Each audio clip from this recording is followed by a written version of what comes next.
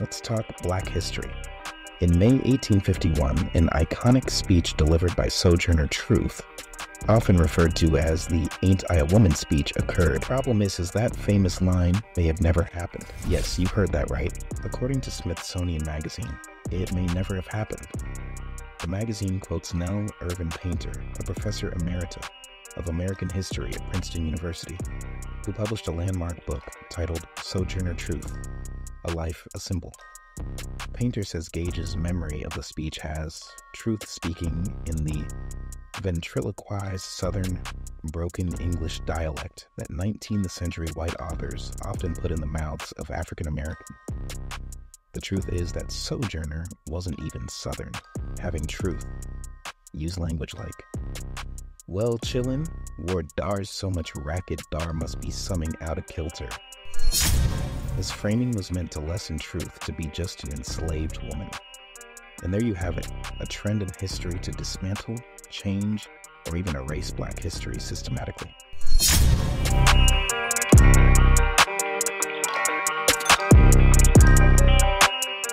The erasure of black history is a systemic and complex issue that has affected our society's understanding of the past, present, and future.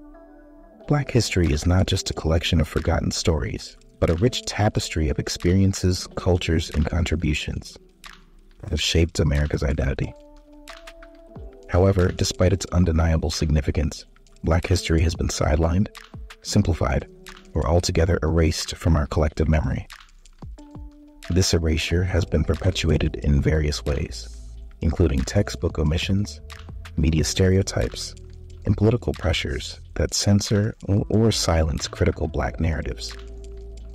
For decades, school textbooks have minimized or entirely neglected significant events and figures in black history, presenting an incomplete and skewed version of the past. In Florida's public schools, they're teaching students that black people benefited from slavery because it supposedly taught them valuable skills on top of that, the controversial new standards include teaching about how black people were also perpetrators of violence during race Kids massacres. Are forced to fill in the blanks for themselves. New standards present only half the story and half the truth. What we should be striving to do is provide our students with all of this information and let them formulate their own opinions. I know what you're thinking. How is this even possible?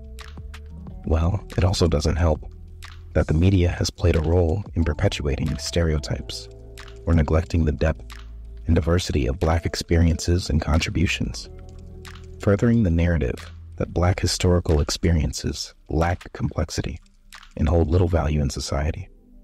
The lack of effort to preserve Black historical sites and landmarks is another troubling aspect of the erasure of Black history. Many of these sites are in disrepair and need more recognition and preservation afforded to other historical sites. African American historic landmarks have long been forgotten, but in 2021, the National Trust for Historic Preservation created a $50 million fund to preserve African American cultural landmarks. However, this is only a tiny fraction of the $2 billion the U.S. spends to preserve other historical sites. Funding for research into Black history has historically been disproportionately low imposing economic barriers to exploration and documentation. Urban renewal and gentrification have physically erased neighborhoods that were once thriving centers of black culture and history, like Atlanta's Washington Park neighborhood, Harlem, New York, and Portland, Oregon. The construction of infrastructure projects like Interstate 5, Memorial Coliseum, and other public facilities led to the forced displacement of black residents from their homes and businesses, eliminating their sources of wealth and community gathering places. Additionally, discriminatory lending policies, predatory landlords, and urban renewal efforts further exacerbated the challenges faced by Black Portlanders, causing them to be pushed out of their neighborhoods. The city attempts to address gentrification and displacement, indicating that despite efforts to provide affordable housing and support for displaced families, the outcomes have been mixed showcasing how urban renewal and gentrification have physically erased neighborhoods that were once thriving centers of black culture and history. The few who stayed in Portland were mostly relegated to the north and northeast, by 1960, home to more than 80% of the city's black population. For years, the area saw little to no investment, ignored by lenders and developers. Property values plummeted. But by the 1970s, a series of city projects razing hundreds of houses in the way. Private money poured in, so did new homeowners who could afford to live here. Many existing residents were priced out. Public and political discourse selectively remembers certain aspects of Black history, almost always disregarding positive Black narratives, allowing the erasure of these fantastic Black neighborhoods and institutions. The underrepresentation of Black individuals in academic settings also limits the scope and depth of historical scholarship and education.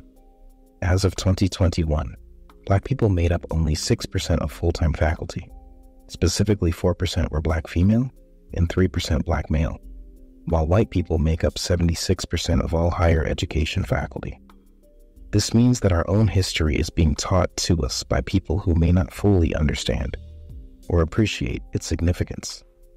All of these factors have contributed to the erasure of Black history, perpetuating a narrative that marginalizes or undermines Black achievements and struggles.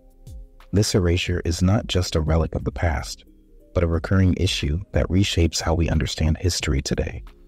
However, we can work towards a more inclusive and accurate historical narrative by acknowledging the erasure and taking steps to rectify it. We must commit ourselves to amplifying Black voices, celebrating achievements, and nurturing an inclusive narrative reflecting our shared history's richness and diversity. In doing so, we can move forward as a more just and equitable society that recognizes and learns from past mistakes to build a better future for all. The collective consciousness and the pursuit of equality and justice demand no less.